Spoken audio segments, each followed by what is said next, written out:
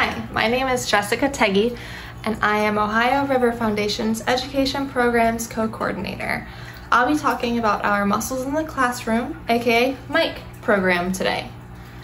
So at the Ohio River Foundation, our mission is to protect and improve the water quality in the Ohio River and its tributaries. A heavy lifter also in this fight is the often overlooked and underappreciated freshwater mussel.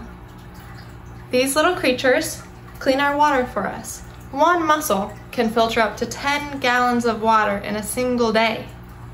They're essential, but they're in serious trouble. Unfortunately, due to habitat loss, competition with non-native species, the building of dams, thermal pollution, agricultural pollution, and more, they're in serious trouble.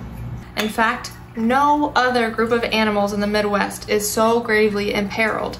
To put this into perspective, the Nature Conservancy reports that about 70% of mussels in North America are either extinct or imperiled. 70%!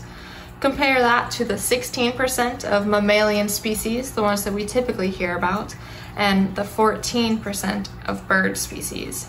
These animals are so important, yet a lot of people don't even know they exist.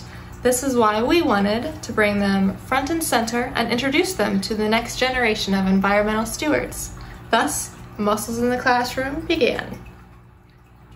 First introduced in the fall of 2017, MIC is the first classroom-based mussel education program in the US and maybe even the world.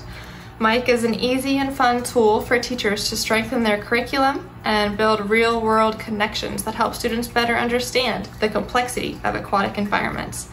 MIC's goal is to spread awareness and increase interest in the often overlooked native mussels and educate about their crucial role in cleaning our waterways. The MIC program starts with a one hour in classroom visit from an ORF education staff that involves a hands-on learning experience. During this presentation, students learn about the importance of mussels to an ecosystem, their life cycle, and their current status in the environment.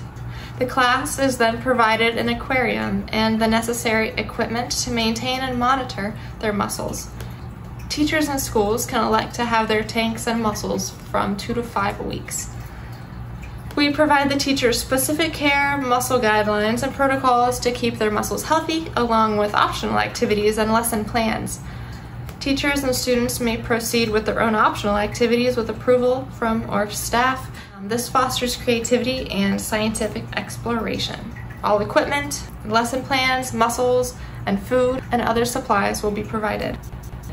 We believe the MIC program is so beneficial because it combines that um, hands-on learning with that high priority and local subject matter. Um, it also pushes home that connection between what's good for the environment is good for us too.